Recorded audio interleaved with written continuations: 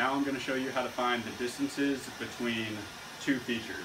And to do this, you don't have to have the CAD model imported or aligned to the software. All you have to have is the part securely fastened down to the granite tabletop. And I'm going to show you how to find the distance from this plane to this plane.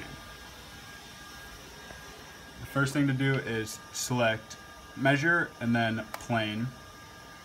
And now you're ready to define one of the planes.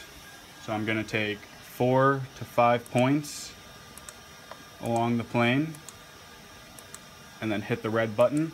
And once you hit the red button, the software automatically recognizes that you are now ready to measure another plane. So you move to the next plane, taking four to five points, hit the red button again, and now you have both of your planes defined.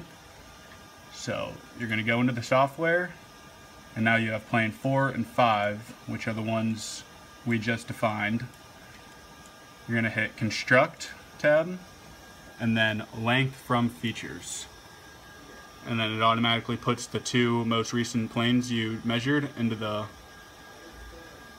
two, two bars, and then hit create. Create as actual.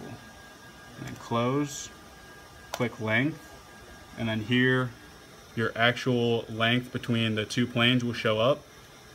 And if you want, you could import your nominal distance, which you is the set length in your CAD model, and that will tell you whether it is in or out of tolerance.